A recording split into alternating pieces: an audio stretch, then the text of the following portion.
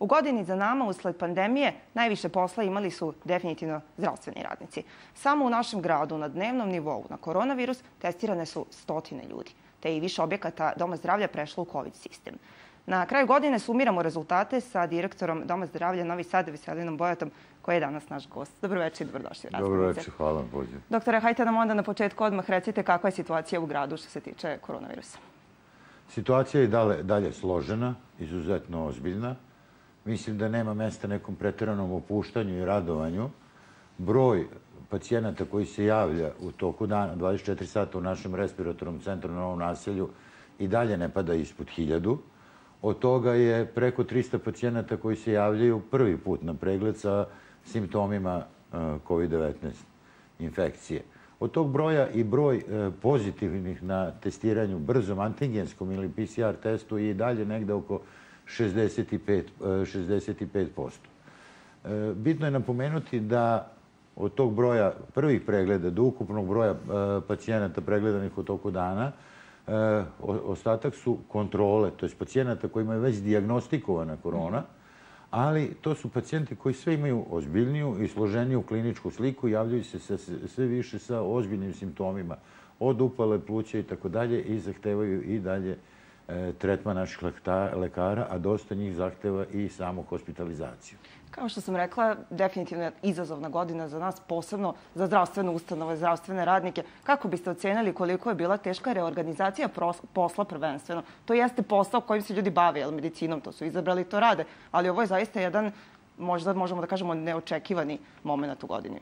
Pa, zaposleni u Domu zdravlja su zadovoljni. Mi smo zadovoljni kako je sistem uopšte funkcionisao i način na koji smo radili, ali nismo srećni zbog svega toga, naravno mi bismo voljeli da su, naša uloga je preventivna, da sprečimo bolest, da bolesti nije bilo.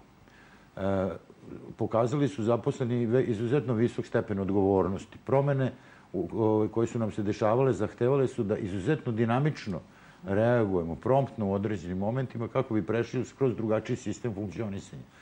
E, meni su pohvala izuzetno, i značim izuzetno to što su kolege iz Zagreba i neke drugih gradova se ugledali na sistem kako je organizovano u Novom Sadu, jednog respiratornog centra sa velikim brojem timova na raspolaganju i sa kompletnom diagnostikom na jedno mesto i pacijenti su bili smešteni u objektu, to jest nije bilo čekanja napolju. E, jedan od objekata koji je prešao u zapravo respiratorni centar je i objekat na Novom naselju, ali je tamo puno e, COVID ambulanti zapravo u okviru samog objekta, je li tako? Kako to funkcioniše? Pa mi imamo tamo preko 25 timova koji rade, 250 ljudi funkcioniše, to jest radi u toku 24 sata u sistemu respiratornog centra na Novom nasilju. To su timovi lekara i sestara, to su oni timovi koji rade, njih preko 21 e, tim radi u toku dana na, na primarnim, to jest prvim pregledima, Imamo ambulante za trudnice, mislim da smo po tome zaista reprezentativni, koje su pozitivne. Imamo stomatološku ordinaciju za COVID pozitivne pacijente. Od 4. decembra radi i ona. Da, imamo ambulante za pedijatriju koja ima nek, između 40 i 50 pacijenata malih u toku dana i imamo ovaj, ambulantu za ovaj, kontrolu e, plućnih, e, pacijenata sa plućnim komplikacijama. Tu rade dve doktorke pulmolozi u e, prepodne i popodne. Znači, mi smo zaista uz laboratoriju, rengensku diagnostiku, e, dva rengen aparata na raspolaganju, zaista mislim da je sistem koji je u Novom Sadu organizovan, zahvaljujući pre svega tim ljudima koji rade u tom sistemu, odličan i to pokazuju, kažem, i neki koji su prekupirali sam način funkcionisanja. A objekat na Limanu, u toku su radovi, kada se planira završetak? Ono što raduje u celoj ovoj situaciji da radovi na rekonstrukciji objekta ovaj, su tekli bez nekih značajnih zastoja, znači imali su svoj kontinuitet. Sad je već vidljivo i sa spoljne strane sami obrisi kako će izgledati taj objekat. Mislim da će to biti i veru, stvari verujem, na osnovu onoga što znam, da će to biti jedan od najreprezentativnijih objekata primarne zdravstvene zaštite u ovom delu Evrope, pre svega zahvaljujući Kancelariji za javno ulaganje Republici Srbiji, gradu Novom Sadu, pokrajinskoj vladi i tako dalje, da će građani Novog Sada imati najbolji dom zdravlja u svakom, po opremi, po funkcionalnosti i nadam se da su zaposleni pokazali da su najbolji. Sutra, 31. decembar, prosto znamo svi šta treba da radimo i znamo svi da šta treba da činimo, ali nas možda ponese veselje. Možete li da uputite jedan apel kako i zašto je dobro ponašati se po pravilima koja su propisane?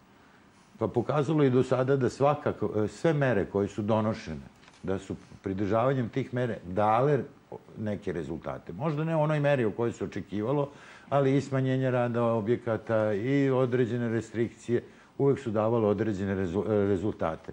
I mi smo i sada sa nekih 1500-600 pacijenata ipak e, se spustili na broj oko 1100 pacijenata u toku dana. Znači, mere su dali. Nema mesta nekom radovanju preteranom, radovanju u smislu organizovanih provoda i masovnih okupljanja. Mislim da je najlepše da se radujemo, kako to i dolikuje svim ovim praznicima u krugu svoje porodice i da sve topline u stvari ostanu tu i da na taj način svi zajedno poželimo da nam sledeća godina bude mnogo, mnogo lepša i zdravija. Nadamo se da hoće. Hvala vam najlepše što ste izvojili vrijeme za naše gledalce.